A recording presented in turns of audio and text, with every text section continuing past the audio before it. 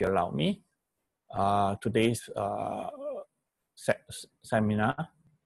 Okay, uh, going to talk. Okay, so we did a bit.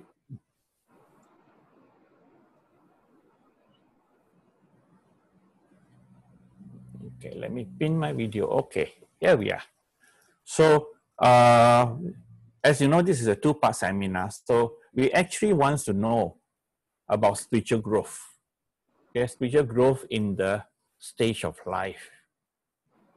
So uh, today we are going into the second uh, seminar, which is dynamics and means of spiritual growth in the spiritual seasons of life. Okay, so we basically want to focus on a few areas like retirement, aging well, dementia, and dying well.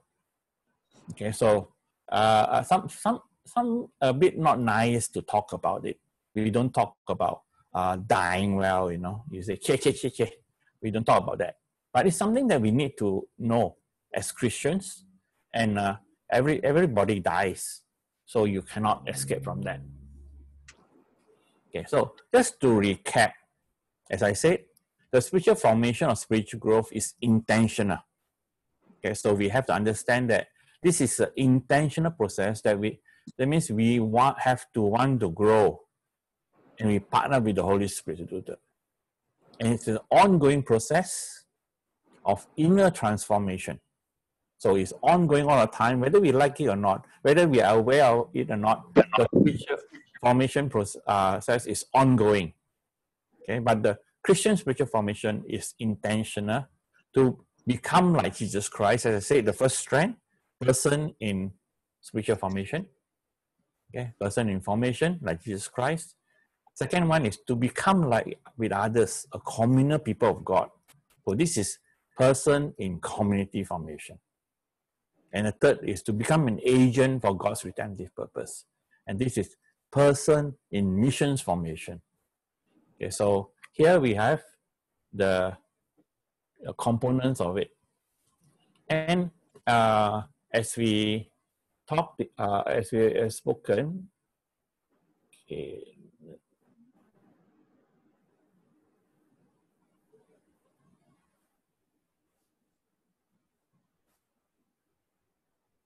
uh, somebody please stop taking over my screen.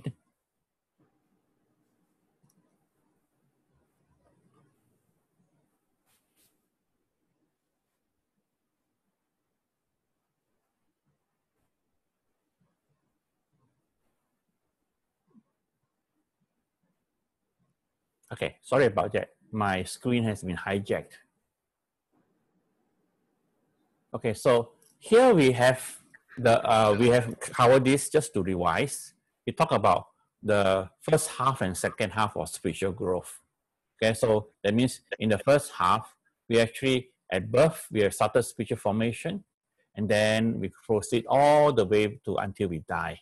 So in the first half, we talk about development of the false self, and the second half, the development of true self. Okay, now this is a concept so that we can understand spiritual growth. Okay, and uh, uh, the the point seems to be like Romans seven, where you the old self and the new self, and you struggle with both.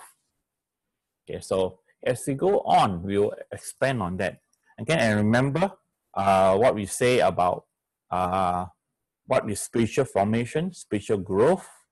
Okay, it's not uh, uh, growing from a seed. Okay, God has created us God has created us perfect. Okay, so this we will re, uh, receive this perfection when we receive our resurrected self. Yeah, that is our true self. And our true self is like a sculptor that you see is in this block of uh,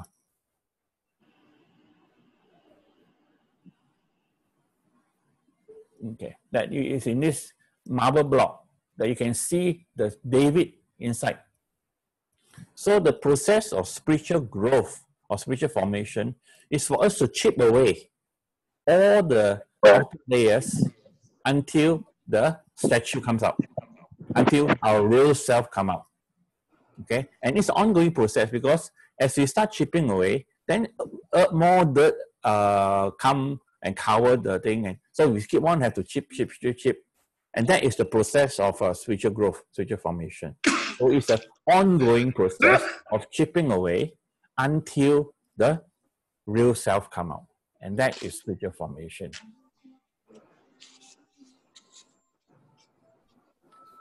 Okay, and uh, our uh, text is actually Second Corinthians three eighteen. Okay, remember, and we, with unveiled faces, all reflects the Lord's glory, are being transformed into His likeness. Okay, we are being transformed into the likeness of God with ever increasing glory. So it's a process of becoming, being transformed in glory of God, which comes from the Lord who is the Spirit. So it's an ongoing process that goes on. So the journey isn't so much about becoming anything. Okay, we always think that uh, you know, if we do become something, then I will be a better Christian. You know, I'll be a more major Christian. If I do this, I do this, I attend church, I tie how many percent, and I do this, then I'm a perfect Christian. No. It's not so much about becoming anything.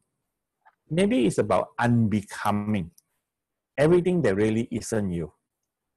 So spiritual growth is actually becoming who you really God created you to be, who you really are. So that you can be who you are meant to be in the first place. So that is what spiritual growth is about. Okay, so it's a individual and community transformed to Christ likeness. It's an ongoing process. The Holy Spirit is involved, and God's glory is restored. Okay, so you see that it's actually two half of our whole life. Okay, and uh, we all journey through this.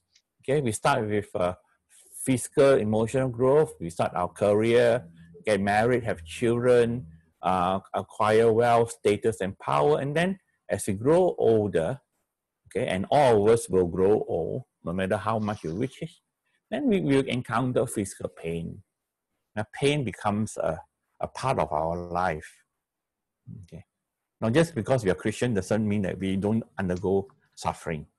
Yeah, sometimes as you grow older, you find that your joints aches a bit, you know, and then uh, when you wake up in the morning, you got to check, make sure every part is working. And then we are prone to anxiety and depression. Okay, even Christians are prone to anxiety and depression. Uh, grief and loss, especially as you grow older, we begin to lose our loved one, loneliness and helplessness. And what is very important is that one thing we must acknowledge that how do we live with limitations? As we grow older, we cannot do the things that we used to be able to do. That's why I always tell people, you know, travel when you're young, travel when you can, and still walk. Don't wait until you cannot walk, then you start traveling. A lot of places are not wheelchair friendly. So, so living with limitations. And that is the second half of life. First half of life, you know, you are so young and strong, you can basically think that you live forever. Second half of life, you become come to terms with what is the important part of life. What is the one thing needful that uh, okay? So it's a process of uh, moving from the false self to the true self. Okay. Uh, you know, so so I believe I send you the PowerPoint. If you have not received the PowerPoint for the first se- session, please contact uh, Pastor Adeline. Okay, so basically, it's moving from the false self that we build up, and it's not wrong. All of us go develop a false self. Okay, but it's wrong if we stick to the false self. Okay, the process of spiritual formation or spiritual growth is to move from the false self into our true self, to become who God created us to be. And that is our focus today. To become who God be, wants us to be, dealing mainly with retirement, dementia, and dying well. It's an end. We are dealing with mainly with the later seasons of life. Okay, I mean, uh, six, uh, three score and ten. That's about seventy years. With strength, eighty years. So we are talking about uh, how many more years do you have? Okay, how many more years do you have to be effective? Okay, I'm 65. So I think, well, maybe I would have about 15 more years. Okay, 10 more active years. Okay, that I can actually move around, maybe the five years. And then, uh, but nowadays with Zoom and all that is helpful. Okay, but after 10 years, from the next uh, five years, will be likely to have struggle with illnesses, uh, heart attacks, and all this cancer and all this. So, so it, that is the process of life. So you have to ask yourself uh, a very serious question: How many years do you have left, and what are you going to do with these years that you have left? So that is a very serious question. You're listening. Okay, and uh, Romans talks about uh, the process of growth. That his inner being, I delight in God's law. Okay, but there's another law. That means the false self and the true self. So we have to move towards the true self. Okay, so speech, uh, spiritual uh, aging as a spiritual discipline. So we, we, we have to accept aging as part of life. Okay. This is uh, from another lecture, not given by me, but uh, the note taking was wonderful, so I thought it was very nice. Okay, so we aging is part of life, and aging is a spiritual discipline, and we need to know how to age well, because that is part of the. So the, the first thing we'll consider uh, this morning is retirement. Okay, so what about retirement? Does the Bible talk about retirement? Yes, it does. Okay, Numbers chapter 8. Okay, verse 23 to 26 talks about the and the Lord said to Moses, this applies to the Levites. Okay, the Levites are the one who take care of the tent of meetings, the tabernacle. Men 25 years or more shall take part in the work at the tent of meeting. But at age of 50, they must retire from their regular service. So the Bible does talk about retirement. So those 50 years old retire, okay, so that means they no longer take part in building the tabernacle, but they must assist their brothers in performing their duties at tent of making, a tent of meeting. Okay, but they themselves must not do the work. So there is a basis behind this. Because you find that the tent of making, the tent of meeting or tabernacle is it makes out a lot of poles. It's a portable temple. So there are a lot of poles and uh, paneling and all that. So it's okay for young people. Okay, 25 years and all these young, strong men can carry, you know, because every time the the the, the pillar of light move, then they all move. So they have to quickly tear down and then put it up again. Okay, when uh, light stops. So it takes a lot of work, a lot of energy. Maybe 25 years old people, uh, young fellows can, but maybe 50 years old, not so good, not so strong, not as strong as they used to be. So it makes sense that then they are more of a guard. They, they guard this from uh, people who destroyed it and it becomes secure uh, protection.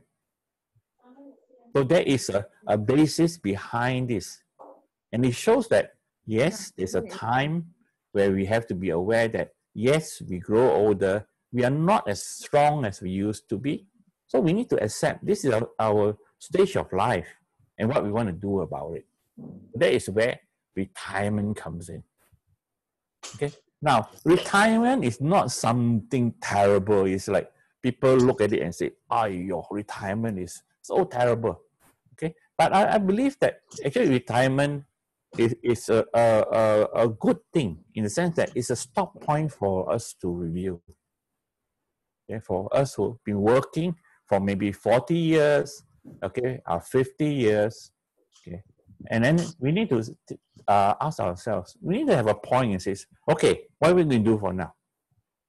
Okay. So retirement is a point where we have to are forced to stop and think what what is important in our life what do we do see I mean, why we retire? It can be compulsory. Okay, compulsory retirement is that when you reach a certain age, okay, and the state okay, uh, you're 50, 55, 60, then you stop work, you retire. So that one is compulsory retirement. Okay, so you have no choice. So not much decision to make. Your only decision, what are you going to do after retirement? Some of us retire because of health reason, because we are not strong, we are weak, and then we retire. It's fair enough. I mean, uh, that's a reason. Some have an option that we want to retire or not. So retirement is a time that we need to discern, pray, and plan. Okay, we want to plan for what are we going to do. Okay, not all of us are going to get a golden parachute. So it's a uh, retirement is a stop point for review. So what do you want to do when you reach the retirement age? Okay, so you listen, you pray with the Lord, you know, and you pray with your friends, and you pray with uh, uh, and and you seek the Lord. Okay, what will you do after retirement? Now there are, there are some people who like to continue to work. So if you do, eh, go ahead. Okay, if you can continue to start, continue working the, the same way you've been doing, there's no harm. You uh, can continue working after retirement. Okay, I mean, it depends on how you feel about your job. Uh, if you feel you want to get up in the morning and you're excited to get up in the morning and says, I want to go to work, okay, then by all means continue to work. But if you are feeling that, oh, I don't want to get up in the morning. I hate going to work. Okay, on Monday you ask, oh, is it a Friday already? Then maybe you should think about stopping work. Okay, because you have worked so many years, it's time to do something else. So retirement is where you stop to consider. You really like to work or not? Can you see the rest of your life whatever life that you have left, you can give a portion of it to work, or you want to do something else. So, so something for us to think about discernment, planning, and planning. You need to work. Some of us do need to work because we have uh, bills to pay and we uh, need to pay mortgage and all that. Okay, so some of us are for, have to continue working to so that we don't starve. So that is a reason to continue working. Now, some of us have the option to consider to modify the work we do. Maybe instead of uh, working full time, you can work part time, or you can uh, take a lighter workload, a desk job. So, if you want to continue to work, fair enough. Maybe see whether you want to do it. How do you modify it? Okay. Some of us want to change work. I want to stop uh, work fair enough. And then it's okay to stop work and enjoy yourself. Okay, you, you uh, build up, uh, uh, have enough money to go on holiday, play golf every day. There's nothing wrong with that. Okay, yeah, it's just that uh, well, make, make sure that uh, you enjoy it. You don't do it for the sake of doing it. You don't do it for the sake of uh, using up your time. There are a lot of people who stop work and then they find that they have so much time on their hand, they don't know what to do with the time. So they keep on playing golf and go, keep on taking holidays after holiday after holiday. And after a while, it's very sian. I mean, it's how many golf game can you play? How many uh, uh, holidays can you take before it becomes meaningless? Okay. So when you stop work, okay, what are you going to replace it with? Stopping work doesn't mean that you don't do anything. I, I, I see a lot of people, which is sad, when they stop work, they are just waiting to die. And I don't think that is what a Christian life is. It's not waiting to die. It's not that we embrace, we must uh, live. But then if you stop, just wait to die, then you're just wasting these years of life here. And then uh, some of us talk about changing to other work. Okay, changing to other work. How how we want to do something else, which is good. If you have anything planned, then you must plan to change what you want to do. Okay. And usually is that if you want to do volunteer work, a lot of us think that, oh, when we retire, we want to spend our time doing volunteer work. Now, if before you retire, you don't do volunteer work, after you retire, it's unlikely that you do volunteer work. Okay, it must be something that you have a passion for. You cannot force yourself to do volunteer work. It, it won't last. So that is where retirement is a top point for us to review. Okay, you know, uh, this man, I, uh, I, I have been trained and I've been a pediatrician and all this for about 40 years. Okay? And, and I, felt that early in my career, I wanted to uh, go into ministry. Okay, so I asked the Lord, Lord, can I, can I go full time? The Lord said, no. Next year, I asked him again, can I go full time or not? He says, no. So I continue uh, doing all this, and, and it, it, it, it is uh, beneficial. People get blessed, people get healed of the disease. I meet a need. I mean, it's a fantastic job to be a doctor. You actually save people's life. But I always wanted to do full time. So uh, while doing this, I get involved in uh, teaching, in uh, ministry, and all that. And I thought, okay, when I retire, I will go into full time. Okay, so uh, so the retirement age, I always set the target when I retire. So initially the retirement age was 50. So when I reached 50, I said, oh, Lord, it's time already. Then they moved the retirement age to 55. Okay, so so I look a lot. What, what are you trying to do? Okay. Then when I reach 55, they move the retirement age to 60. And then when I reach 65, 60, it moved the retirement to 65. So it's like, Lord, why are you moving the goalpost for me? Okay. But in the meantime, when I was about 40, I decided if I want to be involved in ministry, I need to get myself prepared. So that means about when I was 40, okay, I took up a theological training. I actually went to MBS and did a Master of Ministry. Actually, Master of Ministry is actually for pastors. But for somehow, you know, the uh, MBS allowed me to do it because of my uh, uh, helping in the church and all that. So I did a Master of Ministry while working as a pediatrician. Okay, over two years, I got the, the degree, and then I continued to serve in church. And I, I began to discover that as I get more involved, that I want to teach in the seminaries. So, so I need to, I want to get a PhD. So at that time, the retirement age was 55. So I said, okay, if I get my PhD in, when I'm 55, okay, that'll be just nice. So I started my PhD work at 50, and I got my PhD in uh, spiritual formation when I'm 55. And this is part time. I'm still full time pediatrician. But the retirement age moved from 55 to 65. So I'm not over here yet. Okay, even though I'm now I'm doing both. I'm doing both. I, I have not moved over to uh, uh, full-time ministry yet. Okay, because I want to spend the, the rest of my my 10 years of active service left in uh, full-time ministry in uh, what?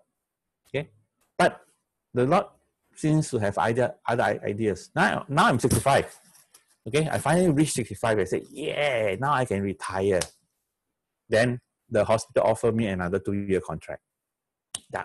So maybe 67. Now, two years time, you ask me whether I have gone full time or not. So, so you see, retirement is a choice, but we have to make a decision. We have to make the decision because retirement is actually linked to aging well and it's linked to work. And work is a very important part of our life.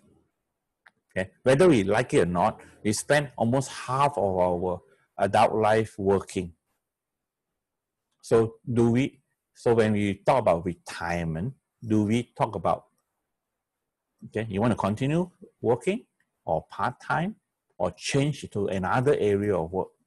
So if you want to think that you want to do another area of work, then you need to get training early before you retire so that you can shift to another area of work. Okay, another type of work. That you will want to do. You want to spend the rest of your time with. The the and uh, in this area of aging well, you must realize that we have a lot of freedom now.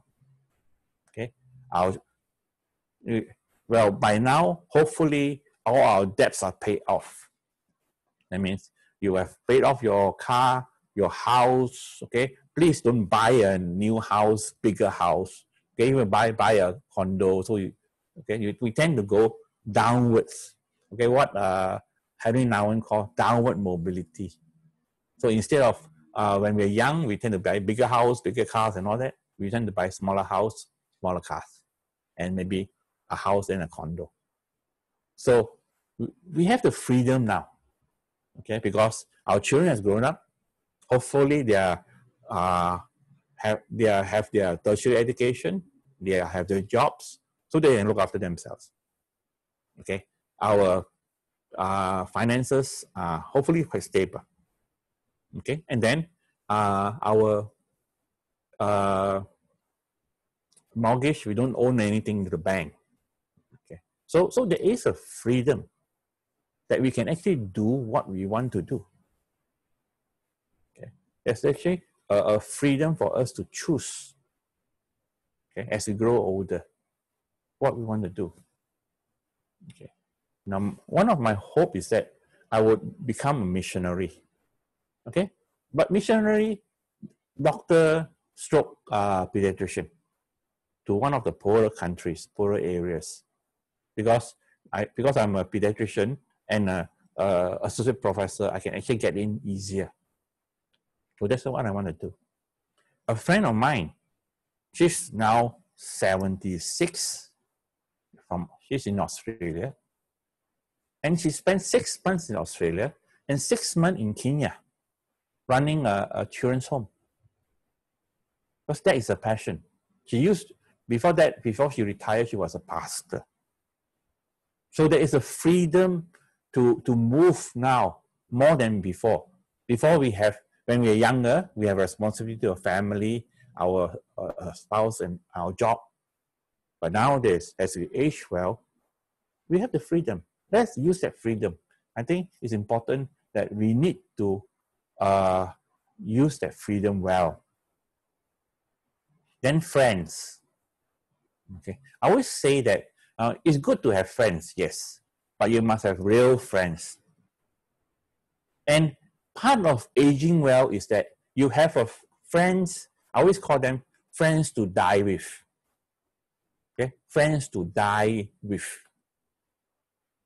Because you want to get a group of friends that are almost your age so that you can spend together and then as you grow old together that you can die die with not die together but die with so it's good to build up friends and uh, friends take time and a lot of energy to to be, maintain and develop friendship. So that should be our part of our focus.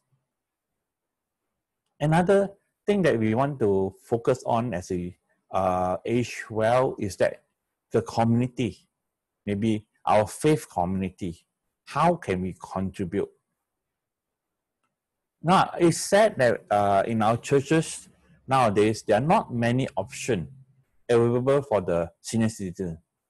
Maybe a senior citizen fellowship, but no, no uh, real stuff uh, uh, for them, no real role. But it doesn't matter. What we can do is that we can uh, uh, go alongside younger people, either to mentor them, to be their friend, or we can be godparents. Then we have the time to help to look after young family, young couples with children, and have to look after their children. Now, babysitting is not that bad a, a, a mission field, you know, because you get to look after other people's children. So you must have friends, and then you have must have community. And then what is we must have focus too. Otherwise, uh, every day you get up in the morning, read the newspaper. After that is lunchtime, and you wonder what is for dinner. And the problem is that if you have uh, no real focus, you will focus on your aches and pain. And then you keep complaining to each other about the pain here, pain there, and uh, no, all, all the limitations you have. So you need to have a focus. Okay, uh, you need to focus of uh, what spiritual legacy are you leaving behind? What have you done? Okay, or what would you will do in the years that you're remaining. And I want to talk about those four movement of the Holy Spirit. Okay, the, the four movement of the Holy Spirit of aging well is from doing to be to being. Okay. That means in the last years of our life, we have to move from doing to being. Okay. We have been doing a lot, okay, a lot of activities. And that is good. It's helpful in a church. But we also need to become, to, to being who we really are. Who is who our real self is.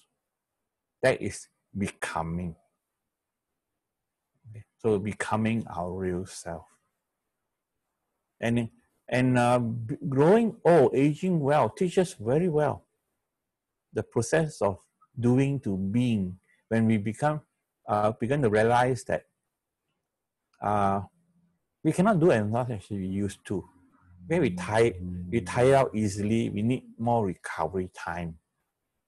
Okay. A good friend of mine, Ton, uh, Tony Horsfall, uh, in UK, he, he used to come over here to lead retreat, but he uh, was infected with COVID-19. So he was in the ICU, and then he just recovered. So he was he survived but it, he was reflecting on doing and being that he has been so used to doing. But in the process of being infected with COVID 19, he couldn't do anything. He couldn't even pray. But he felt that that is being the process of becoming. Okay. You know, it's like uh, Luke 10 42, Mary and Martha. Okay, so Mary has the best part, Jesus says. The second movement is from servant to friend. Okay, and it's always triggered by our longing for God. And we end up in intimacy. Okay. Jesus says to uh, the disciples, hmm, I don't call you servant, I call you friends. Why I call you friends? Because friends know what the master is going to do. Servant don't. So when we are young, we want to serve God. We are servants of God. But as we grow older, we become friends of God, God's friend. And we begin to develop a, a strong intimacy with God. And I think that is a movement in the last years of life that you want to be intimate with God, you want to know God very well, you want to know who is the true God, what God is really like, not what people tell us, not what some theology book says, but a personal encounter with the real God. Then the third uh, movement is from the false self to the true self.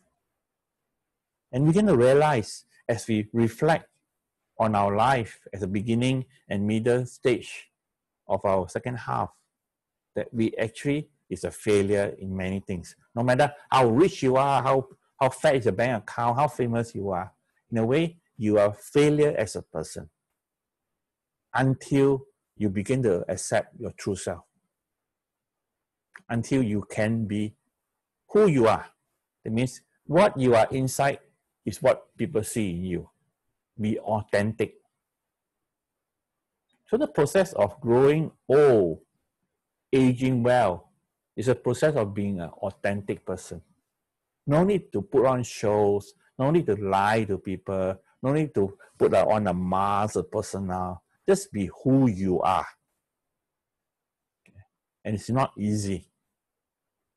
And then from knowing to not knowing. Okay, what do we mean by that? Knowing and not knowing. Okay, when we are young, we think we know everything. We, we want to know everything. Okay, we want to know whether things will happen this way or not. We have five year plan, ten years plan. What are we going to do? Okay, but we find that in life we actually don't know many things. Okay, so if we can live with the fact that we do not know everything and we do not have to know everything. That is spiritual maturity. Because God is a mystery. We can never understand God. We can understand why He allows certain things to happen and certain things not to happen. So if we can live with knowing and not knowing, which basically we trust in God. If we trust in God, we don't have to know what is happening, what is going to be in the future. We don't have to worry because God, we know who God is. So as we, the four movement going, as we grow old in aging well, is from doing to being, from friend, servant to friend, from a false self to a true self, and knowing to not knowing. Okay, so that is the four movement as we grow older. That's a, that should be our focus. Okay? So how do we achieve this um, four movement? Okay. Well, the way to do it is to have spiritual disciplines. Okay, spiritual disciplines are habits to holiness. Okay? Spiritual discipline is some of the things that we do, and we do it repeatedly, so that it becomes a habit Okay. So when it becomes a habit, then it, it automatically goes on in us. Okay. This is a good book to read, Richard Foster, called Celebration of Discipline. It talks about different types of spiritual uh, discipline. The inward discipline, the outward discipline, and the corporate discipline. So the inward dis- discipline means uh, includes meditation, prayer, fasting, and study. The outward discipline is simplicity, solitude, submission, and service. Okay, the outward means towards God, and the inward is towards the person. And the, and the corporate discipline to do it together confession, worship, guidance, and celebration. So these are worthwhile discipline to do. Okay. But this is only a few of the spiritual discipline or spiritual habits. There are actually thousands of spiritual discipline and spiritual habits that we can practice. Okay, I always love to, to remind people that we have 2,000 years of Christian history, 2,000 years of Christian heritage. And, and don't, don't say, oh, they are all Roman Catholics. They are not. Okay, for the first thousand years, there's only one church no Roman Catholic, no Orthodox, no Protestant, just one church. Then after, after uh, 100 uh, AD, 113 uh, uh, AD, they split the Orthodox Church and the Roman Catholic Church. So the Catholic, the Orthodox Church will be more in uh, uh, uh, Russia, Greece. The uh, Roman Catholic Church is the Latin speaking church in Rome. And the Roman Church has been in uh, uh existence for a thousand years. 500 years ago, the Protestant split. So that means for the last 2000 years, a lot of things that happen are not, doesn't belong to the Catholics, the Roman Catholics. doesn't belong to Orthodox. It belongs to the church. And we need to revive some of the discipline, some of the things that we can use to help us to grow. So, what are some of the uh, spiritual discipline that will help us to grow? I, I would suggest a few. Okay, and uh, in this uh, session, I will just highlight five of them. The spiritual discipline of naming our fears. The spiritual discipline of gratitude. Prayer. Lifelong learning and soul care. Okay. And this, remember, this is just a few. There are hundreds of hundreds of uh, spiritual discipline. But I find that this will be useful for us as we consider aging well. Okay. The spiritual discipline of naming our fear. I'm sure you realize we you agree that fear is actually very common among all of us. In fact, all of us actually live in fear. Okay, fear of uh, what will happen to us, fear of uh, what is uh, our present condition, fear of losing things, fears of a lot of their fear. And fear is the number one emotion in the world. But as fear, we tend to suppress it. And when we suppress something, it comes out in a different form. It comes out as anxiety. And it comes out as anger. That's why you see our society is a very anxious society. Okay.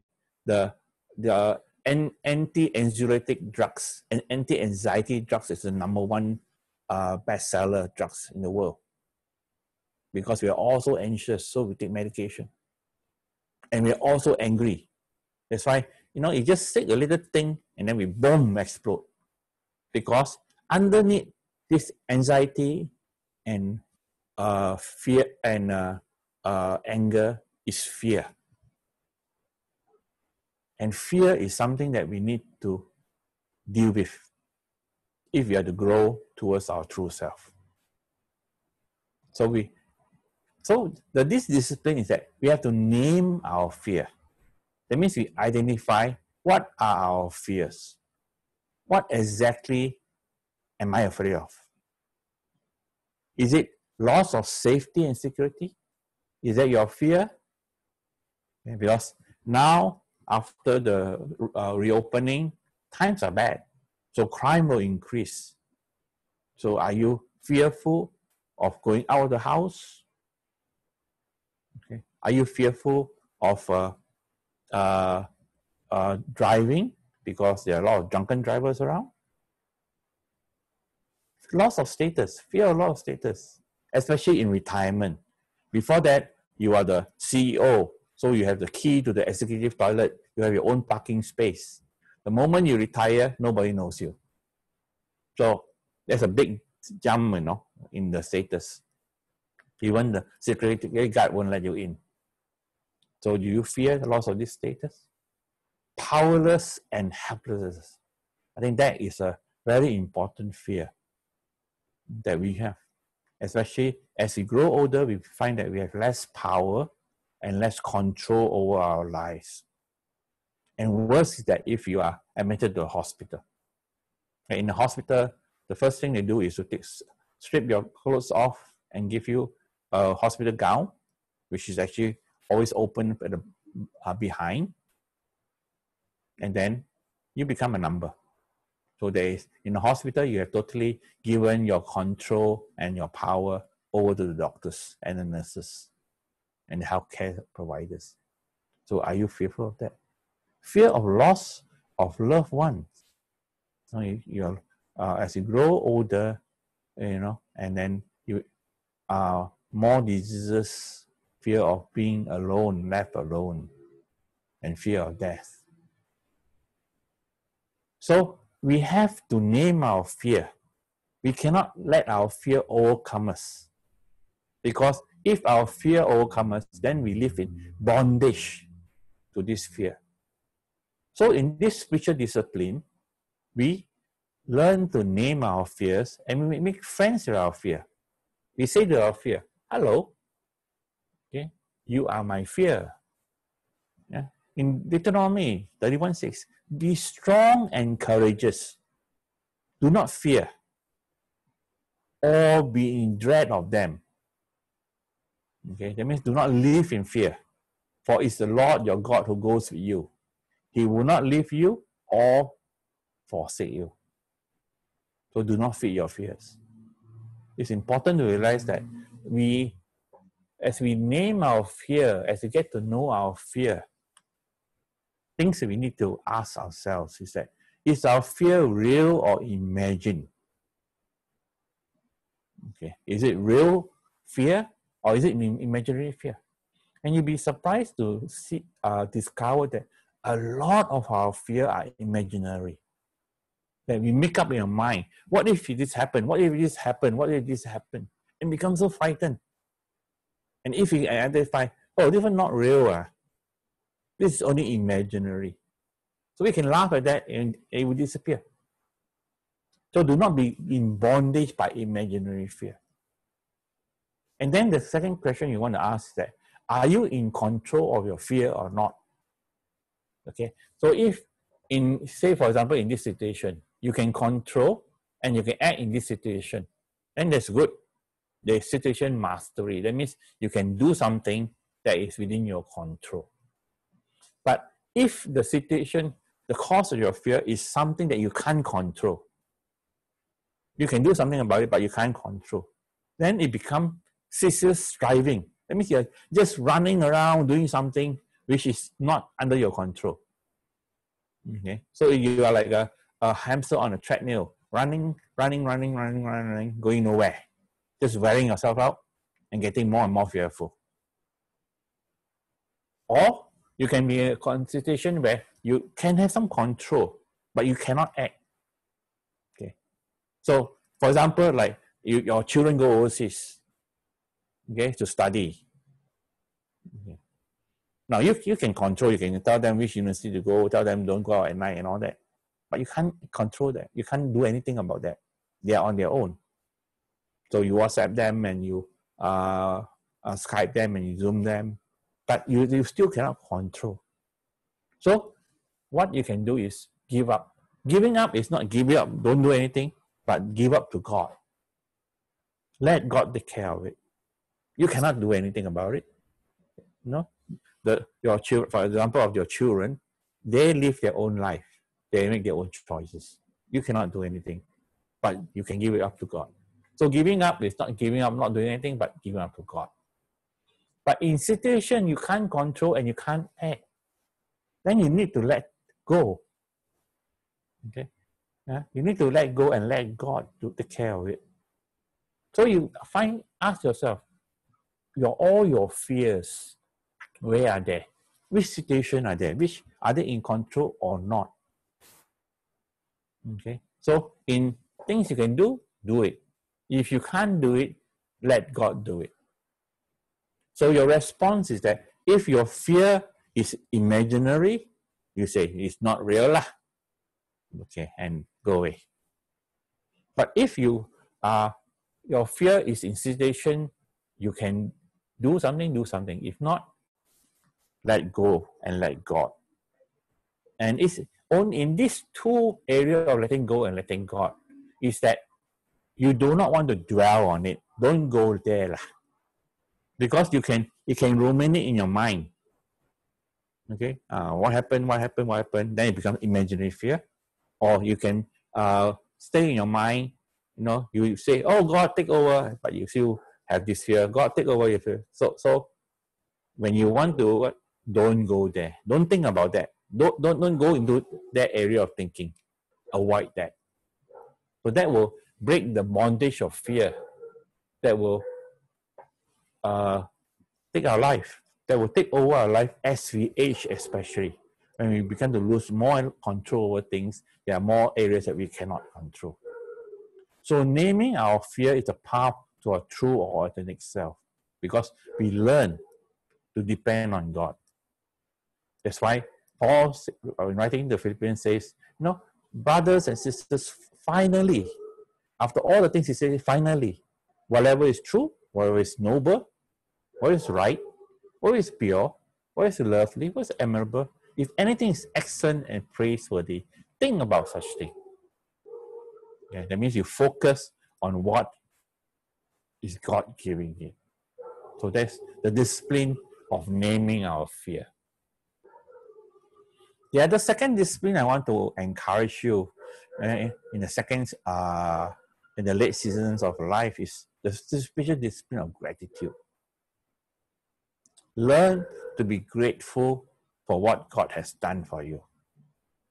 That's why, you know, we talk about the uh, examination in the uh, early uh, stage of life and the middle, uh, second half. To start a gratitude journal, okay, start journaling all the things that you are being grateful for. Okay, do a timeline.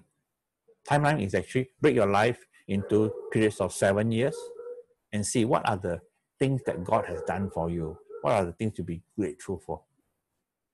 You, you can start a gratitude scrapbook. That means you can have a file and you put in all the photos and all the things that you are uh, grateful for. And the top 10 things to be grateful. You know, when you have time, sit down and list out the top 10 things that you're grateful for in your life and review that every year. So it, the spiritual discipline of gratitude is that we need to live a life of gratitude, of being grateful, especially in this, uh, as we grow older, as aging, we must be grateful.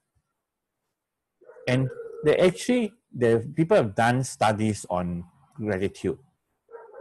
And they find that being grateful increase our spiritual awareness, which is good because the more you're grateful, the more you're aware that God is working in your life and God is there for you. People who are grateful actually are more healthy and they maximize positive experience. So, I mean, if you have a positive experience, it is better because you're grateful. And if you have a negative experience, it's not too bad because you're grateful. And it strengthens the relationship. I think one of the uh, uh, key support for any relationship is to be grateful that you have a relationship, grateful for the person that you're having a relationship for, grateful to God for giving you the relationship. So that's the, the spiritual discipline of gratitude. Okay. Then number three, the spiritual discipline of prayer. Okay. Now I think uh, now we cannot hold hands and all that, but I think prayer is very important. Okay, you know sometimes uh, I mean one of the things that uh, some always share with me who was recently in a ICU and he says that I can't do anything except pray. Okay, sometimes the the uh, no we are in such a state that only thing is pray, and sometimes we don't know what words to say, so we let the pray the spirit pray for us. So the spiritual discipline of prayer is something that we can develop as we grow older. Okay, I want to draw your attention to the different types of prayer. Okay, you find that you know the presence of God, okay, uh, attentive to an absent God. Okay, God, well, we cannot see God. That's why it's called absent God. But we know that He's there. Okay, so we are paying attention to attentive God, or aware of an unknowable God. God is so far beyond our human understanding that we cannot, there's no way our finite mind can understand God. Okay, so there are these two sides of this diagram. Then using our mind, mentally thinking about God, and using our heart, emotionally loving God. So there are actually four categories of uh, prayer we are very used to verbal prayer. Okay, we speak to God. Okay, we use words. That's verbal prayer. Okay, meditative prayer. Okay, depends on our mind and also our heart. That means we meditate on certain words and or and then as, as we pray, we say meditative prayer. Okay, then over the God that we cannot know, the contemplative prayer. Contemplative prayer is a very important part and a very widely used for the last 2,000 years until uh, until Reformation. Okay, and more more used in the Catholic Church and Orthodox Church, but less so. But I'm happy to know that more and more uh, uh, Protestants are beginning to learn about contemplative prayer. It's silent prayer. You don't have to use words, but you can feel the presence of God. Okay. And God doesn't need to you to say things because God knows what's in your mind, but just to feel the presence of God. Then you have ecstatic prayer, prayer that you have a powerful presence of God, infusion of God or grace in your life. So it's good to know that there are different types of prayer and good to learn that how do we pray different types of prayer. Okay? Because we are limited to only verbal prayer. And there are so much more we can learn about other type of prayer. So let's spend the rest of our life learning how to pray the different type of prayer. Meditative prayer, contemplative prayer, and ecstatic prayer. Okay. One one way of praying of a, a contemplative prayer is a centering prayer, where you choose a word and then you sit down, relax, and then you focus on the word. Okay, I won't lead you through it, but if you want, we can actually uh, have sessions on that. Okay, sometimes uh, prayer tools are important. You can use written prayer. Okay, something to remind us to pray. We can use uh, prayer books. Okay, and prayer beads and holding cross. Okay, now this is from an Anglican uh, bishop so don't say, oh, this is a prayer bead. No, this is Roman Catholic and this is Orthodox. No, this is Anglican. Okay. And uh, this one is a, a holding cross. It's, it's a, a, a, cross that people hold when they pray. Okay. And uh, you and uh, from uh, this, this uh, bishop told me that you know, when he go uh, visit the sick, the person may be un, uh, in a coma or anything, but when they put the the this holding cross for them to hold on the hand, they actually reflexively grasp the cross. So these are means, okay, of prayer, different prayer. Okay, uh, prayer box. One way of uh, uh, being grateful is to learn how to pray. Anne Lamott, in her book Help thanks, and wow. It says basically there are three types of prayer. Only three types of prayer. The prayer of help. Every time we're in trouble, we say help. Prayer of thanks. Thank you, Lord. Wow, that's so great. Oh, wow. Okay. So so that is basically prayer. Help or thanks or wow. Okay. So you can start a prayer box like this. What I do was that Every time I have a prayer, I write on a piece of paper and drop it in. Every time the prayer answered, I take it out. Okay. And and I find that to my surprise, the box is almost always empty. Is I, I would expect it to get all filled up. And and that taught me the lesson that God has been answering my prayer all this time.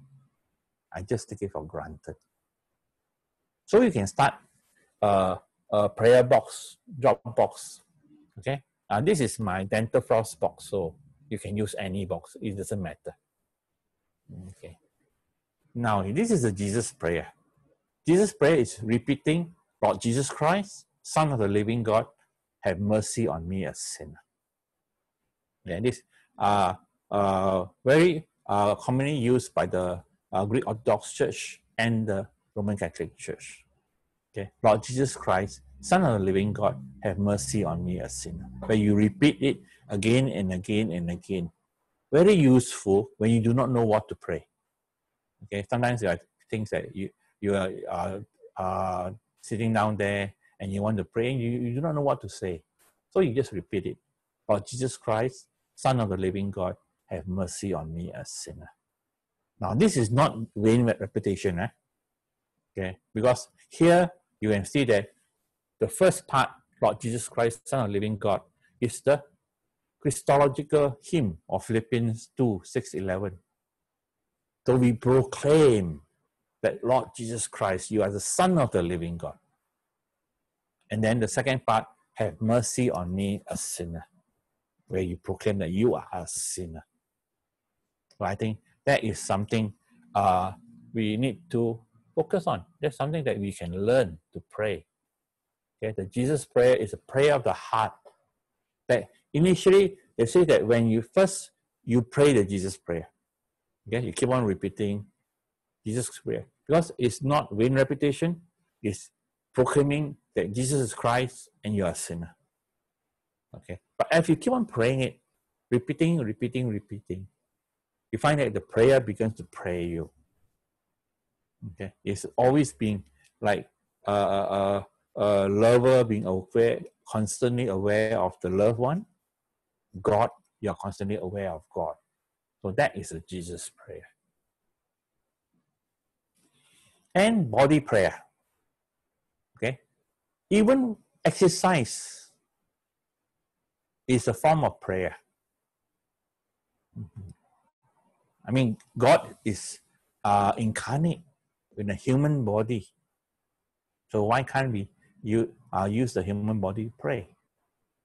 So you can pray where you're swimming, when you're walking, when you're lying, uh, lying, lying dancing, praise dance, sit down exercise. For those who are on wheelchair, you can actually do exercise when you're sitting down.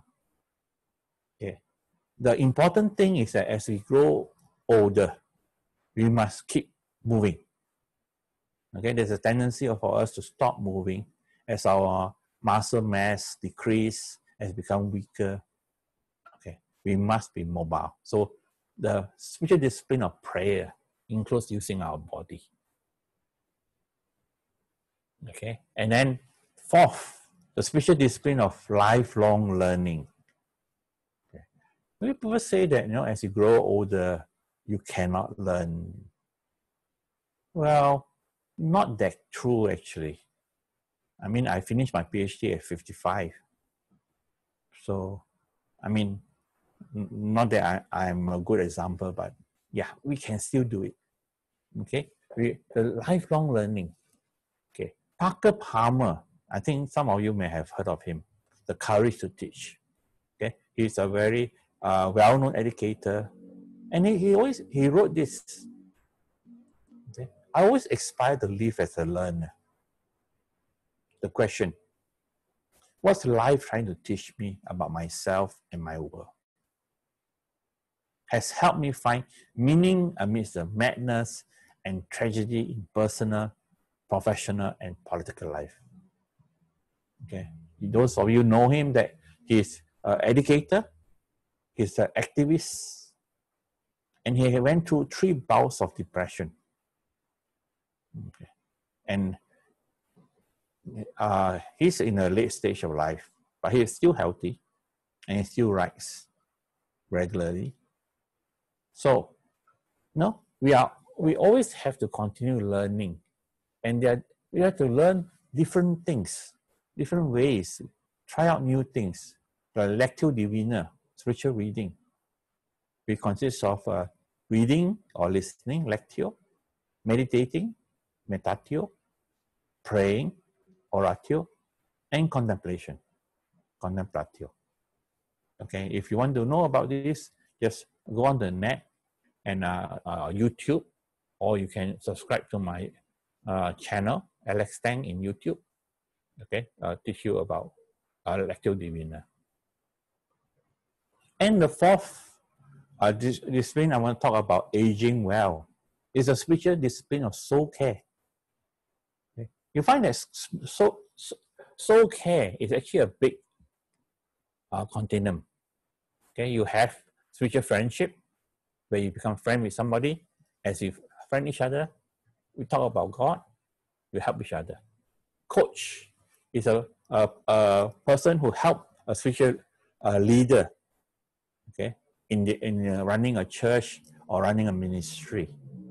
Okay, you have discipler, disciple making where you uh, more major Christian help a, a, a, young, a new uh, young Christian to become a disciple of Jesus Christ.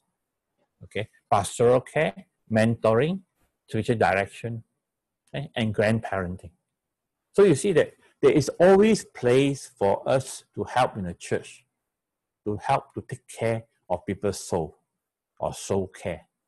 So it's a continuum. You can be any type. Okay, you if you have the your experience of what you can be a coach, or you can be a mentor, or you can give pastoral care, or even just provide future friendship.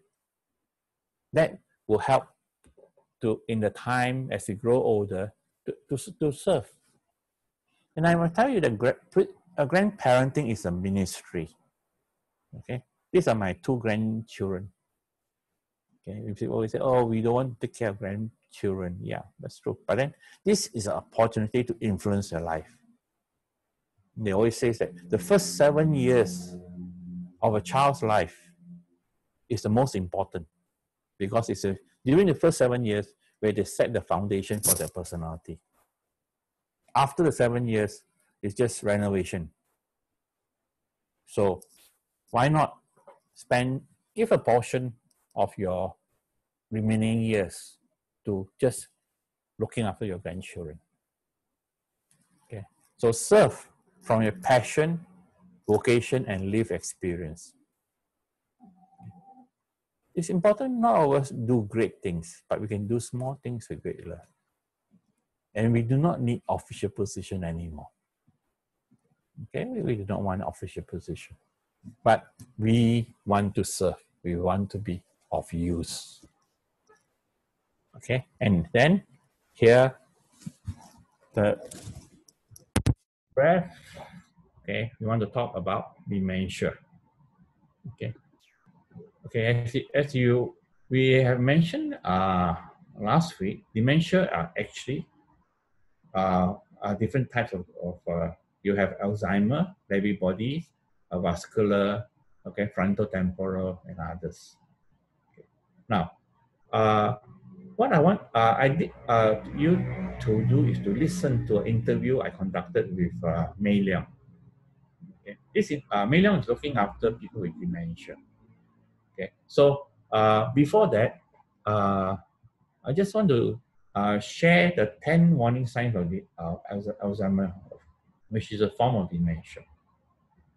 Okay, you'll find that dementia is actually very hard to detect Okay, it can look it can look like anything uh, our normal one. Okay, memory loss that disrupt daily life.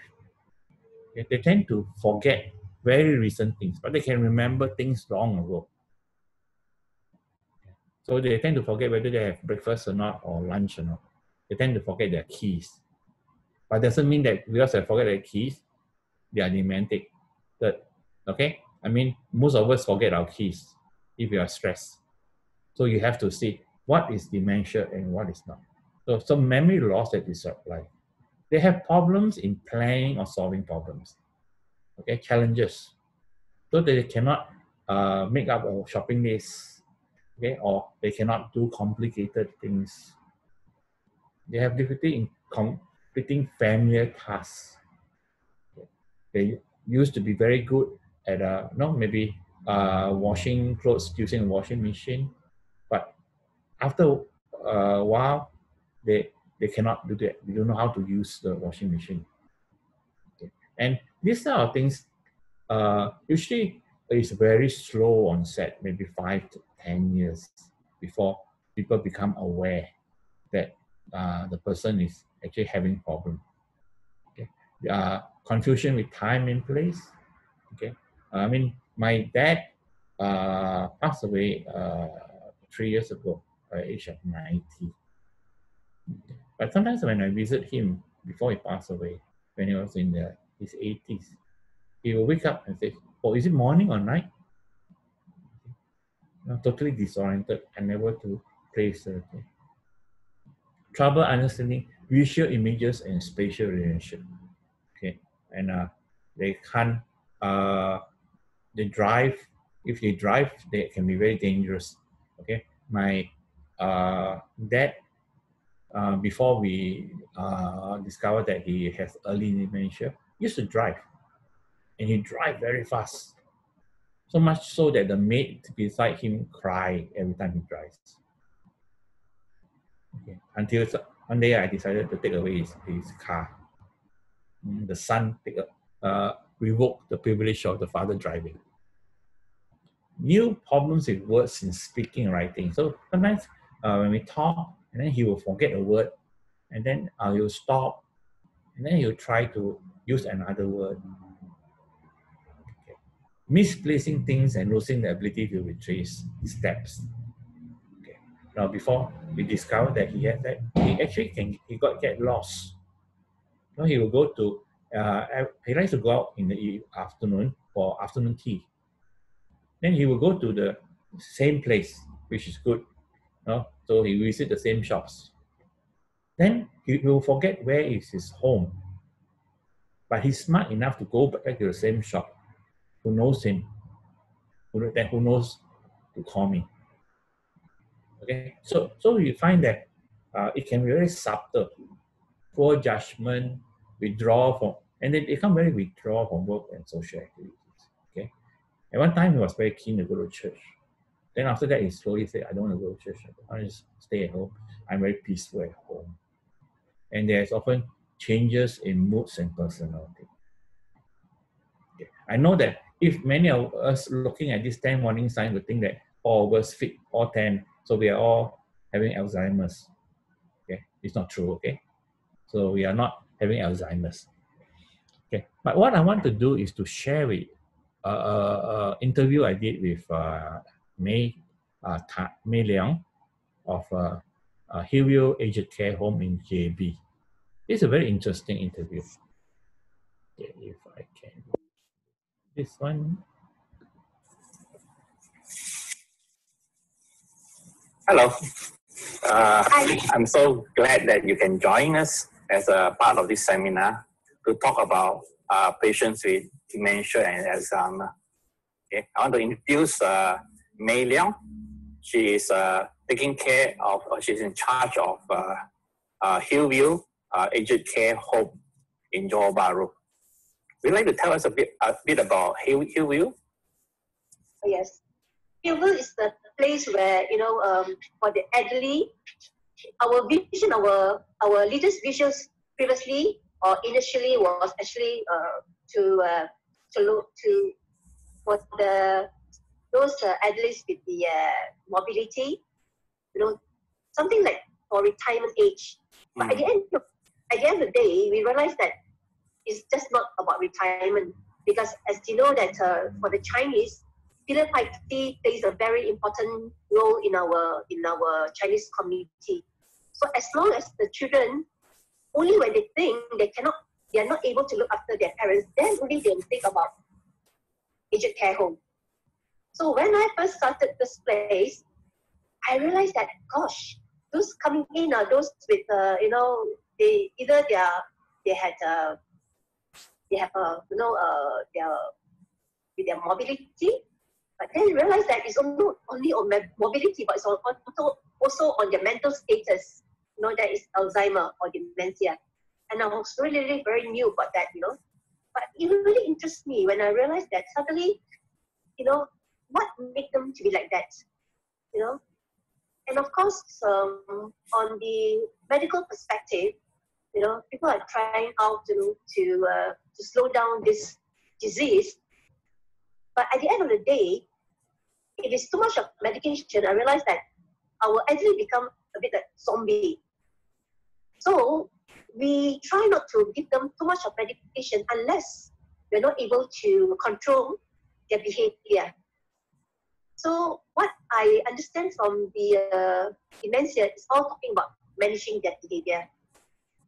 So how do we do this? You know, when uh, we start to uh, attend many seminars and trainings with all my nurses and our caregivers, we realize that it's all about human to human connections.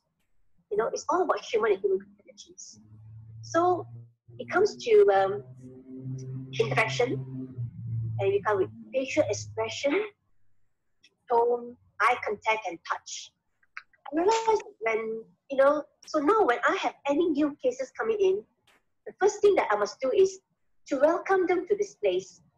because they can actually, when they see you, they really tap you on your face, on your face, and they tap you on your facial expression, and they tap you on your tone. So when I say, "Welcome, auntie," wow, you look so gorgeous, you look so pretty. Oh, they can remember that. That means they feel that they have a sense of belonging in this place. Oh, you accept me as who I am. So when I say about interaction, you know, I realized that many, many of us, or maybe caregivers to our loved ones with dementia, we lack of this interaction. Because we really always say like, you know, we like to say like, remember, remember I told you that, remember, and maybe we say something like, um, well, what a person of dementia they cannot remember. They definitely cannot remember. When you ask them, do you remember what you had for your breakfast?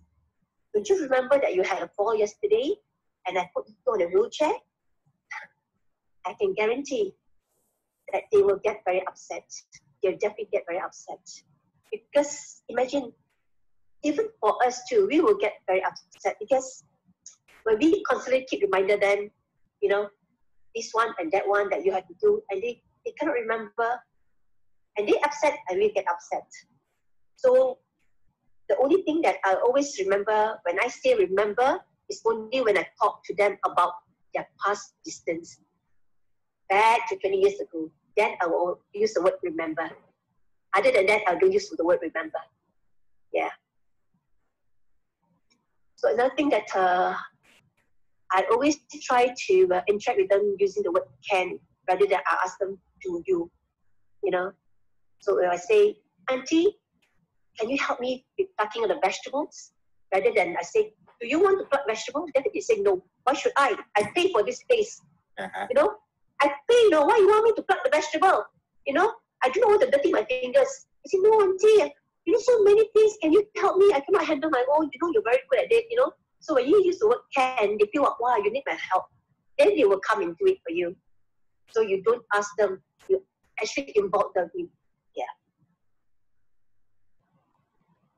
Okay, so uh, okay. Uh, you can actually watch the whole interview. This is only part of the interview. The whole interview here, okay, in this uh, YouTube. So you can. I'll give. I'll send the uh, uh, PDF so you can actually link on and watch the whole interview. But it's very interesting what she says about how to deal with people with dementia it's more of relationship. Okay, more of relationship as we go on.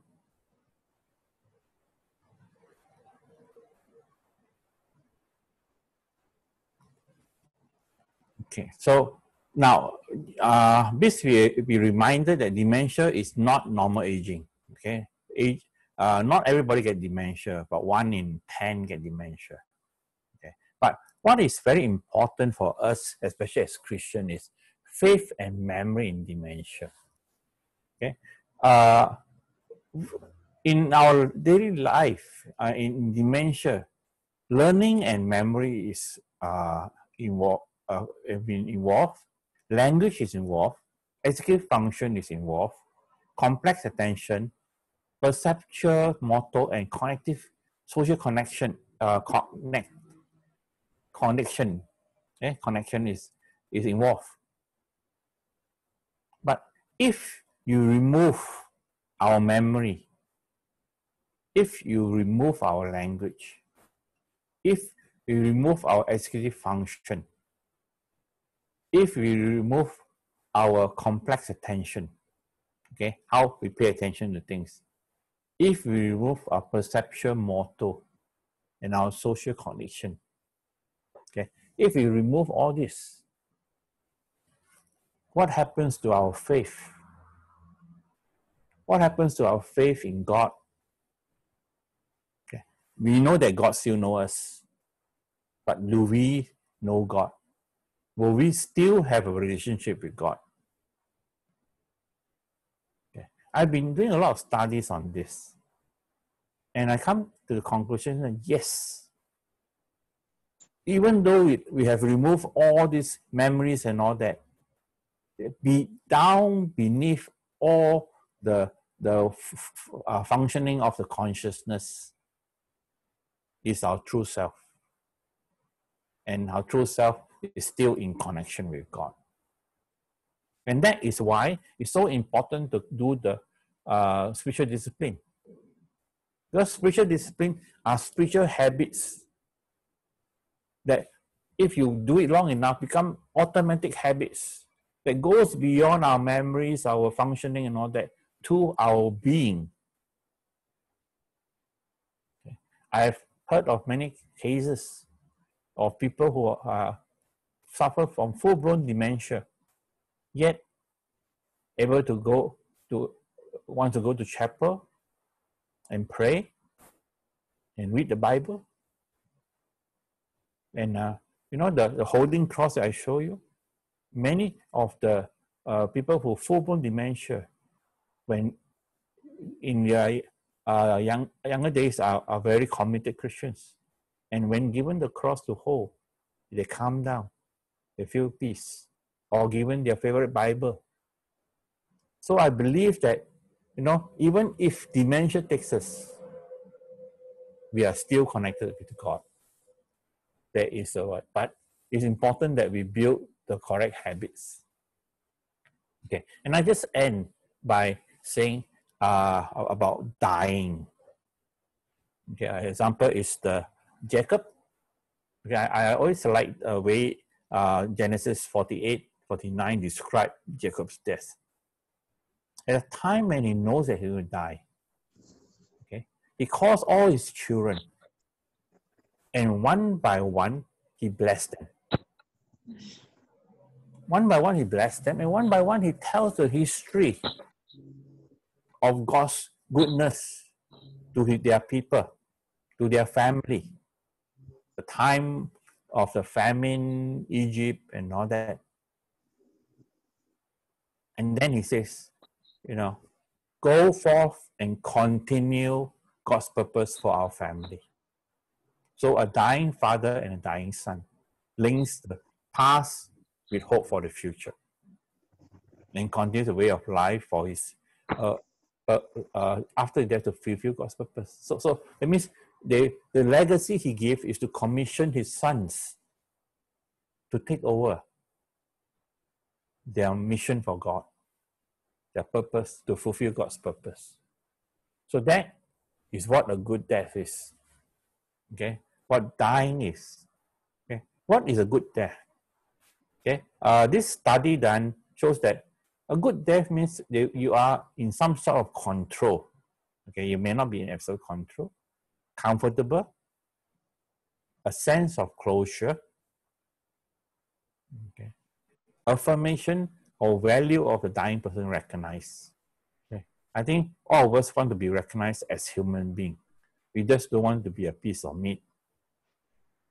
Okay, we trust our caregiver, and we recognize that they death is impending. It's a very strange thing in our uh, Asian culture. I have a lot of parents coming to me when I was working in adults at the time and says, "Oh, don't tell my father or my mother that he's dying." I mean, uh, the person knows that he or she is dying. She is very sick. But the children will say, Don't tell my mother that he's dying. Don't tell my father that he's dying. I felt that, uh, know you shouldn't lie to the person whether he's dying or not. We honor the belief and values. We try to minimize the burden and we optimize relationship, especially with the loved one.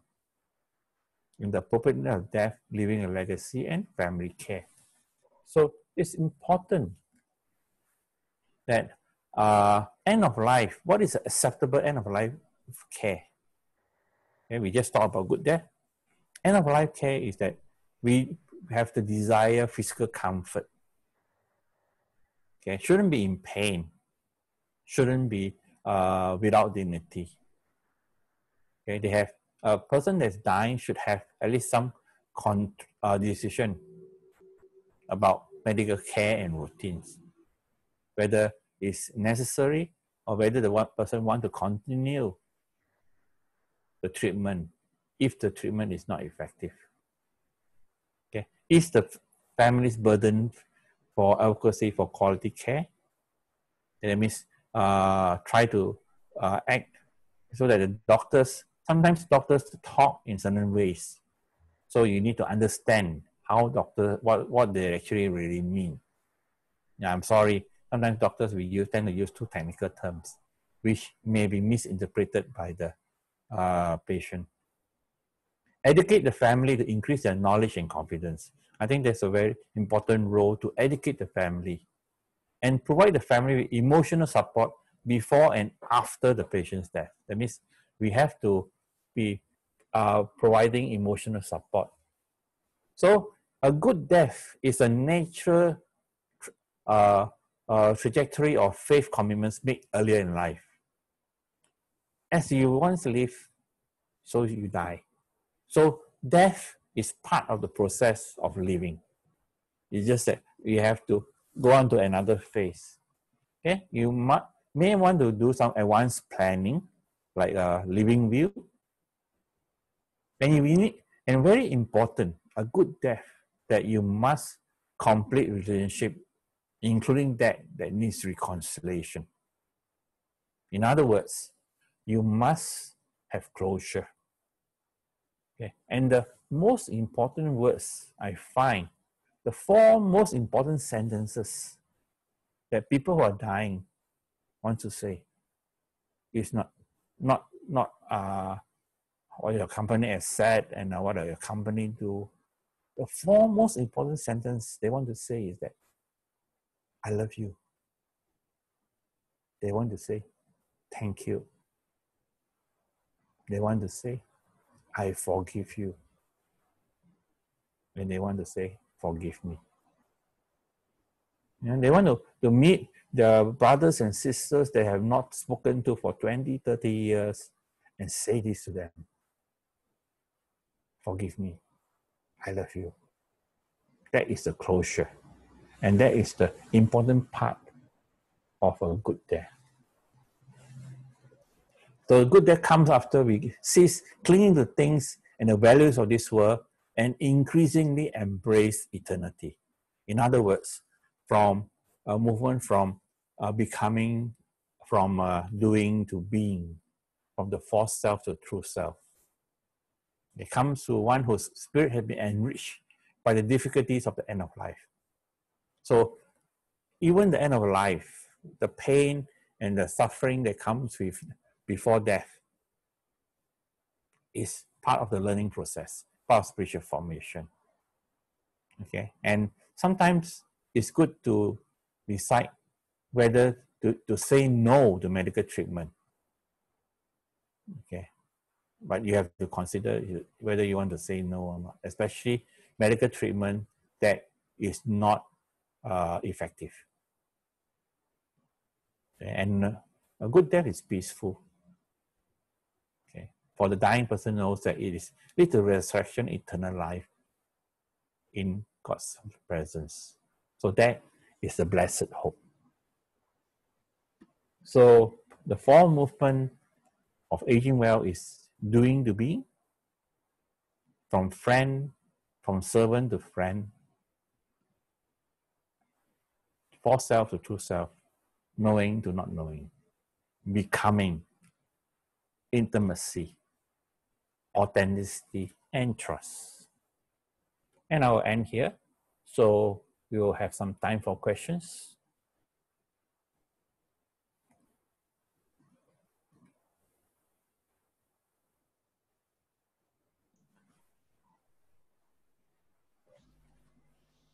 Okay. Uh, You're welcome to unmute your mics and ask questions.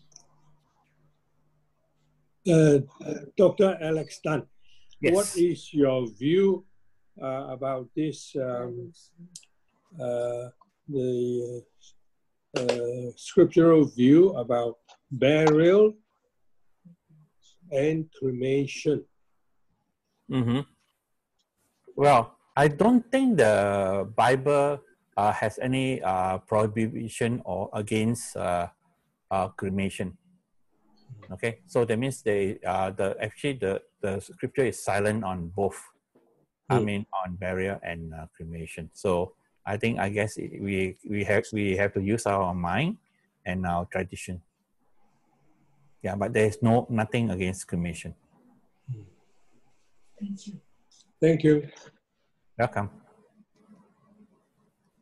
Hmm, Dr. Tang, Yes, can you hear me? yes, I can. Can. I was just wondering, uh, maybe you can say something about sudden death. Mm-hmm. Uh, uh, to, I mean, I'm working with some widows, Mm-hmm. and uh, it has been very different journey for them. We talk Yeah. about good death, we talk about closure, Mm. but this is one area that I'd like to hear your thoughts. Yeah, I, I think uh, sudden death is a, a very difficult uh, to walk alongside people because if you are old or if you have a, a terminal disease, then it's easy to accept because you, you you know there's a process going or you have history of heart disease and all that. But sometimes oh, death occurs suddenly, like accident or aneurysm. So so it's very sudden. Everybody got caught by surprise. So there's no time to prepare. So so the approach is usually to walk alongside them, you know, and, and help them in the grief process, like in every uh, uh, normal death. But they will have a lot of questions and a lot of angry questions. Okay, so basically is to I, I think the most important in grief uh, management is to be there. Okay, don't try to answer questions. Why God allowed this? for this? Because I think we don't know the answer. The- uh, so so don't confuse the issue by oh you know he's in a uh, no don't say he's in a better place. You know, uh, God wants him more than you. Uh, so this uh, sometimes uh, as Christians we do not know what to say to people who are grieving. So we tend to say all the wrong things. So it's better don't say anything at all, but just being there. Okay, look after their needs, especially the first few weeks because they are in shock.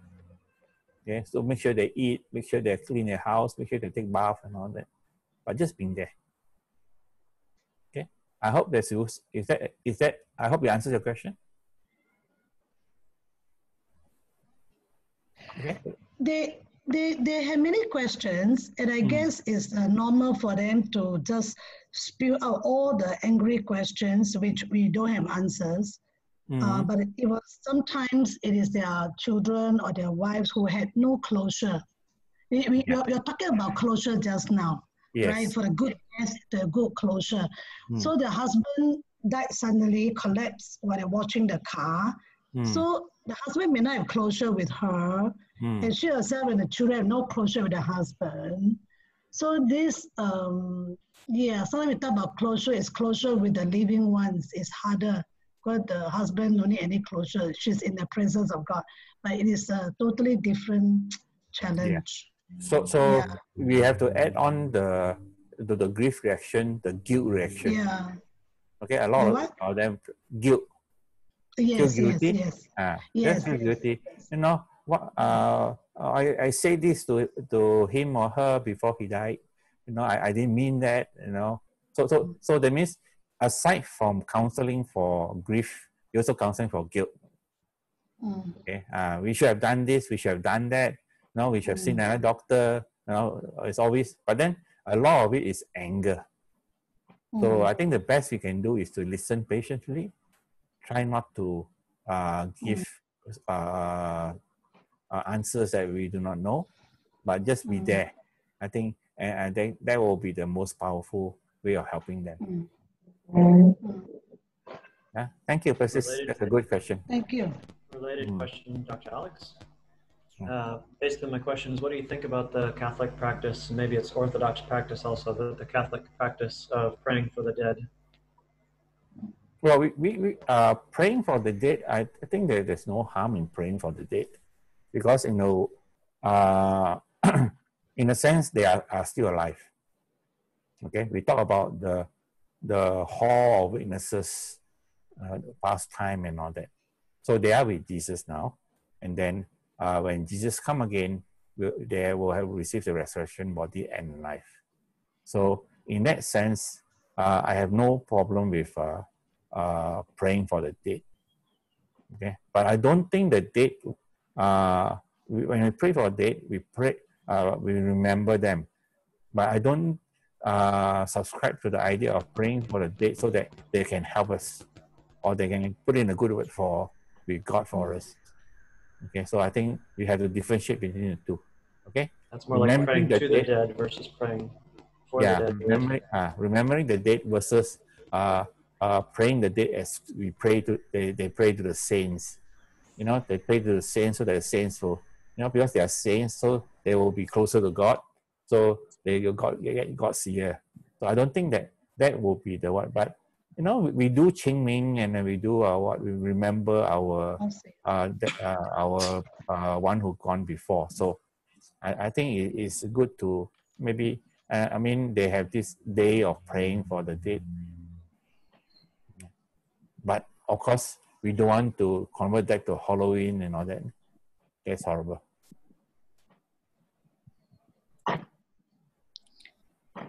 Dr. Ellis, Yes. uh, is it okay? Uh, what is your opinion on keeping uh, parents' urn in the house? Uh, it's not. I mean, again, I have. There's no theological or biblical against or for keeping the urn in the house. It's, it's uh, you need to store it somewhere. You want to put in an urn or put it in a columbarium. I, uh. Why, why do you ask the question? Is there anything that you need to clarify? because uh, uh, my sister was asking me, Mhm. instead of putting a columbarium in a private uh, where they manage, uh, why don't we put it in our own house where it's so comfortably, especially when we have a, nice cabinet, you know, Mm. and we can actually remember our parents wherever, not only during the Qingming times, but in fact daily when we want to pray, we Mhm. can pray there, and then we can put the flowers there. You know, Yeah, I- I as a that- gesture of thanksgiving and gratitude of thanks to them. Yeah, I, I, I mean, it's a good idea to remember them. So I, I don't think uh, there's anything forbidding us from keeping the ashes around. Okay, thank you. Yeah, welcome. Dr. Alex Tang.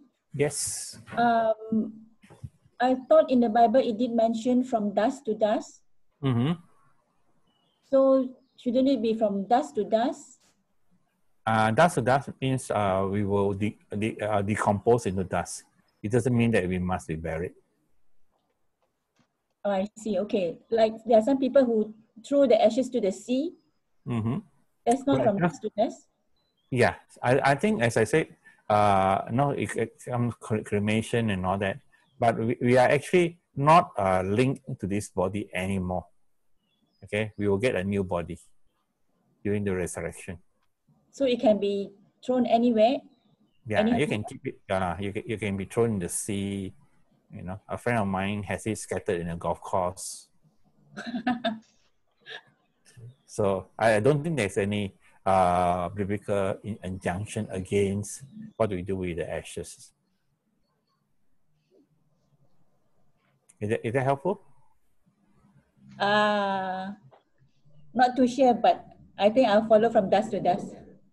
Okay, dust to dust is just uh, uh, uh, descriptive. Okay. You come from dust, you return to the dust. Dr. Alex Tang, may I Yes. ask?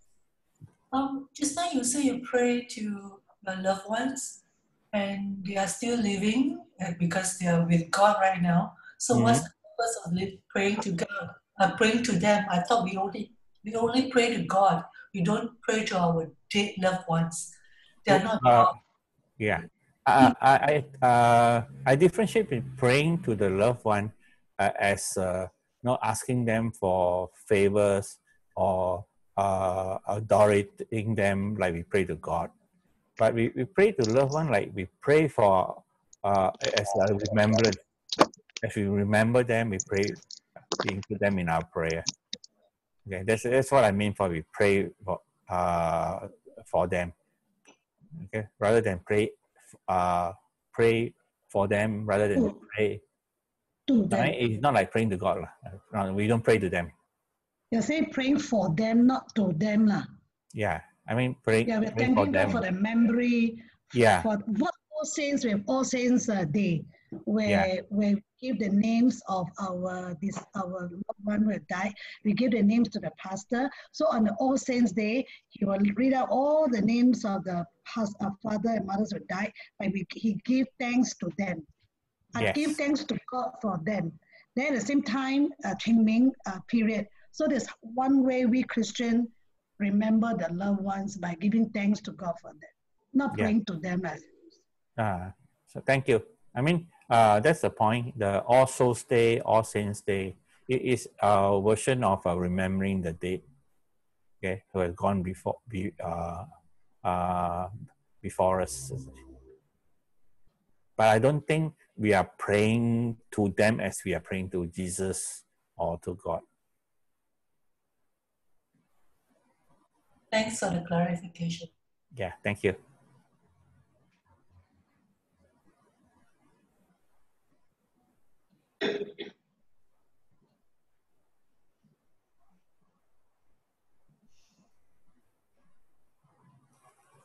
Maybe we have time for one uh, last question before we close. Can I just ask one question, please? Yeah. Uh, many of our children, let's say, have migrated. And so we practice uh, cremation for our Mm. parents, knowing Mhm. that if we bury, not many of our chil- children will come back and, and remember them, so to speak. Okay. Is there, uh, is it is it considered as bad for us not to have a grave or a urn in the family as a an item to to for them to remember the forefathers, so to speak? Is there any psychological or emotional uh, uh, affecting them? Uh, okay, that's that's a very good question. Thank you. Uh, that is a very real question because as our uh, diaspora continues and our children all uh, spread all over the world, whether uh, it's necessary to have grave and ashes or columbarium. Well, actually, it's not really necessary. I mean, usually uh, after uh, one generation, you know, your grandchildren may remember you, may, okay, uh, if they know you, but your great grandchildren will not remember you at all. So it's uh, so it's whether they will they, they're coming back to visit a stranger. Okay, so so that is something to consider. Uh, that uh, we, uh, whether we want to be remembered okay, as a, a person which is a stranger or just part of the family uh, ancestors. Okay, so if we are part of the ancestors, I mean, we have our identity in God, and that is good enough for us. But if we want our family to remember us, okay, uh, basically, only two generation will remember you. Okay, so so uh, if they are doing all all the uh, visit uh, Qingming and all that is make it out of respect or out of tradition, cultural tradition, rather than knowing who you are and what you do. Okay, so we here we have the cultural legacy, Chinese uh, heritage. We talk about ancestor worship. We place a lot of em- emphasis on ancestors. Okay, so that is our Chinese heritage. The Christian heritage is that we remember our uh, ancestors who are now with God. So we, we, we, they're okay. We don't have to worry about them. Okay, so they are the cloud of witnesses that are waiting for us. So it's not farewell. Okay, we will meet them again. So I think that that is a, a different perspective altogether. So whether it's necessary for uh, a grave or not that, actually not really necessary. Okay, and some places you can't even get places to bury. Okay, and so so it's not really necessary if you think about it, because our generation and our our children will be overseas, and when they have children, and they come back, we are they are we are all strangers. So whether we are comfortable with that, if you're comfortable with that, then then get scat, uh, scattered to the the sea or golf course. Okay, so so you know then then there's no uh no no remembrance. Okay, so so uh my both my parents are cremated and then they we scatter the ashes to the sea. Okay, uh, it's bo- we have a discussion about that, and uh, my father says that yeah, after three generations, nobody will know us anymore. So you know we don't want a memorial, and and I sort of agree with him that we you know, but we remember them in Christ. We know that that they are in, in Christ, and that one day we'll meet them. So there is this thing of uh, uh, going to meet them in the future with, versus the Chinese cultural tradition of looking at the past, the ancestor worship component. Okay. Is that helpful? Yes, that is very helpful. Thank you for your thoughts and your answer. Hmm. I'm glad. Thank you. Okay, Dr. Dan, can Mhm. we have access to your PowerPoint notes? ah? hmm Can we have access to your PowerPoint Oh, of course, of course. notes? Yeah. Uh, uh, Adeline, uh, I'll pass it to Adeline, and then uh, Adeline, uh, did, did you get my last week one? Yeah. Did you receive my last week one? The PowerPoint? No. No? No, No. no. Adeline Okay. didn't attach it in the email. Okay. Yes, some of us do, sorry, some of us do Yes. access the PowerPoint. Okay. Yeah, I got it through WhatsApp. uh, Adeline, are, are you here? Uh, yes. Ah, so uh, can, can, can we uh, make sure that Uh, apologies to all who did not receive. Actually, I realized my mistake and I resent a second email. And a number of you uh, feedback that it was caught in your spam folder. So for the second email, if you still have not received, please do WhatsApp me and I'll send it to you through WhatsApp. That's faster. Thank you. Dr. Tang, Uh, Dr. Alex Tang, Yes. could I, uh, you see, uh, I'd like to ask you a question. Uh, you see, uh, uh, quite often we are face to face with people who are dying, right? Mm.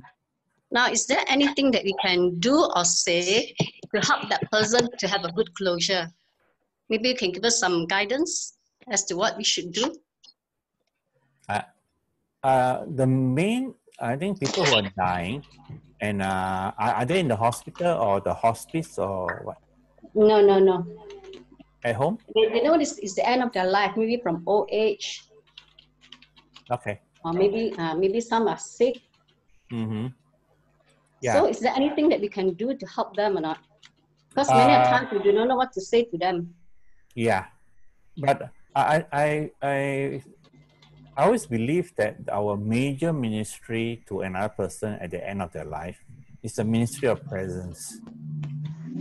Yeah, the ministry of presence. The means be there, okay, so that they do not die alone. I think the one of the most fearful things is to die alone. So the ministry of be- presence means you just be there. Okay, just talk to them. You don't have to give them counseling. Don't have to to just just be there and just uh uh be there and be present to their talk to them. Um, okay, uh, so that will be the major thing. Okay, uh, Mm. for people who are dying. Okay. And I, I find that hospice care is very important. Hospice care is uh, where people who are dying to go and have a comfortable death, a place to die. And I always believe that the church should be uh, involved in hospice care. I mean, the church was uh, involved in hospice care during the Middle Ages, okay, from the uh, 15th to the 18th century. Hospice are actually run by churches. But after the Reformation, uh, very few of the Protestant church are, run, are running hospice. I think there's something that our churches should pick up as a ministry. Okay, as a ministry to to walk with people who are dying so that they don't die alone and they die don't die in fear.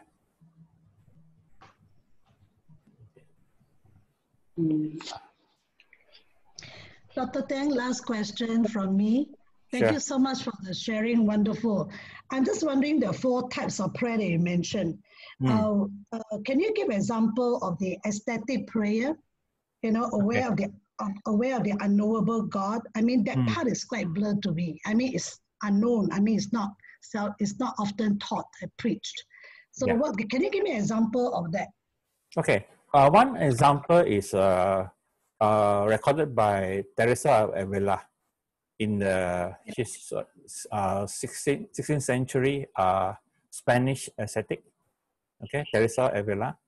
Uh, she described her her uh, ascetic prayer is that when she's praying, she felt as if they were, uh, God sent a spear that is burning a burning spear that pierces her heart. Okay, so that she she feel the the the the ecstasy of being on fire with God. So that that's a, a, fo- uh, uh, Teresa of Avila's uh, description. Saint John of the Cross, also uh, contemporary but younger, talks about uh, the flaming fires of love. Okay, it sounds like love as uh, being part with God is like a log that's burning. Initially, the, the outer layer of the bark gets burns off, and then the inner layer catch fires. Okay, so he felt that in this sort of prayer, he, he feels that the log, he is the log, that the fire of God sort of engulf him so that he really feel the presence of God. Okay, so that's ecstatic prayer. Okay, it is uh uh we are it's not very, we are not very familiar with it. Okay, so thank you for Mm. asking. Okay, but Mm. it is it's a form of prayer that God allows people to experience. You know, it's a very powerful encounter of, of I guess not for everyone, or Uh, is it something those who are speaking in tongue that they will describe that? No, not speaking in tongues. Uh, speaking in tongues is, uh, I mean, speaking in tongues, they, they are uh, uh, prayer. Okay, there's Mm. more of a contemplative.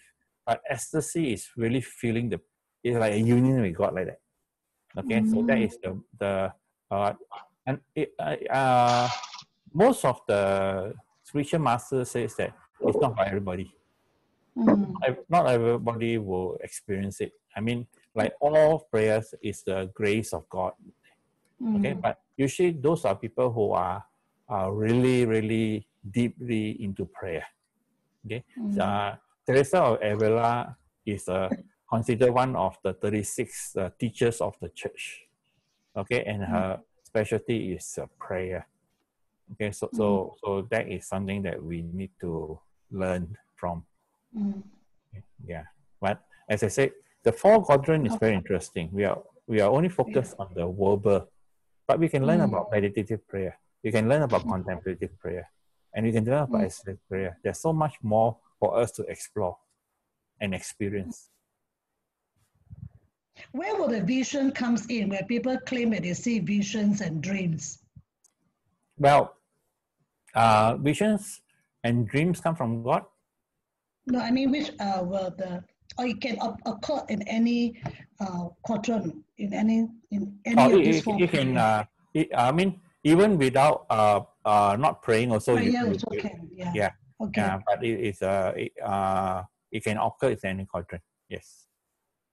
Let's go ahead Thank and you. close this session. Thank you so much, Dr. Alex, for uh, sharing with us uh, your insights and, and answering the questions. And oh, what a blessing! Just uh, to answer some of the questions.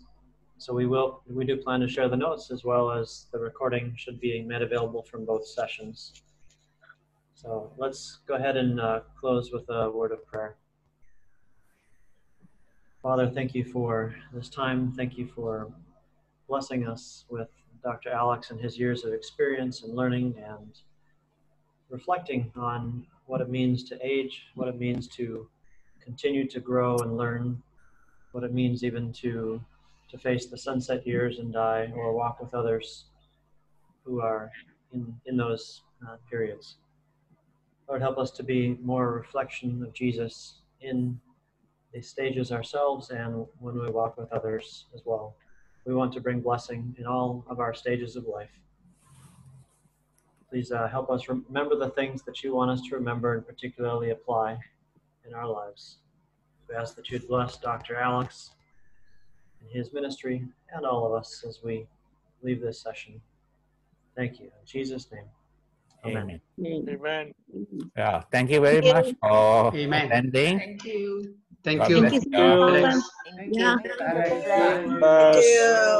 Thank you. Thank you, Dr. Alex. So good. Dr. Alex.